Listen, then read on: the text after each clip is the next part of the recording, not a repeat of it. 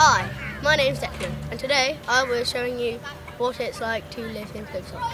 There is a lot of things to do, like go to the park, woohoo! The Broadway is a very nice place to go, and it has a lot of nice shops you can go to, like the 99p store, newsagents, supermarkets, clothes shops, and many, many more. There is also a library. There is also a secondary school which I go to, and that is Plymstock School. There is over 1,500 students in the school, and I personally quite like the school because it's a great place to learn new things.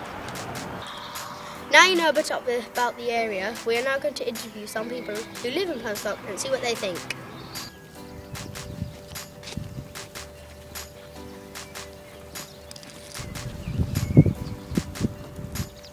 This is Brian, the local dog walker. Hi, I'm Brian. I like to walk my dog.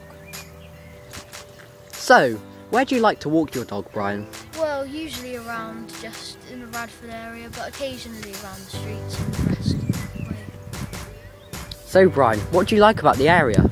I like all the parks and the forest where I can go walk my dog. Brian is considered a local hero in the area because he likes to adopt loads and loads of dogs. So, Brian, tell me about your dog adopting thing. Well, I've been looking after and raising a, a lot of dogs over the years. So, um, finally, what do you think could be improved about this area? Well, I do come across the occasional gang and chavs. I know one of them is called Quinton. It gets very annoying sometimes. Okay, Brian. Well, thanks for talking to us. That's okay, there's no problem.